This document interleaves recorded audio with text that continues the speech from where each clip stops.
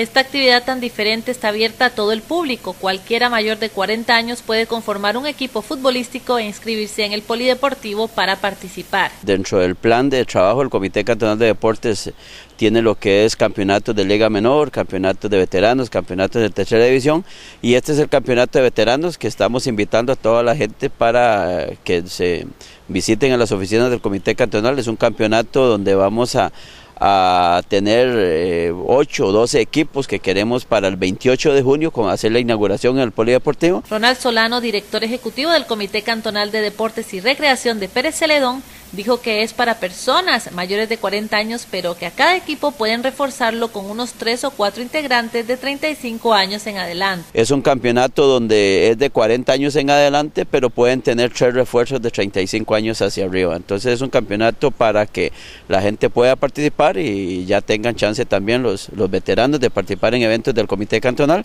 Invitarlos a todos, el 27 70 12 55, ahí les vamos a dar toda la información. La inauguración del Campeonato de Fútbol de Veteranos se realizará el día 28 de junio en el Polideportivo de Pérez Celedón.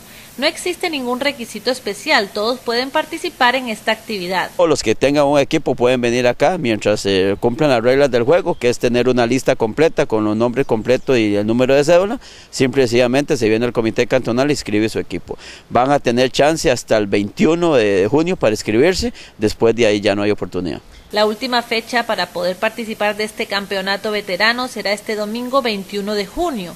Para cualquier información adicional puede comunicarse a los teléfonos 2770-1255 o al 8825-5483.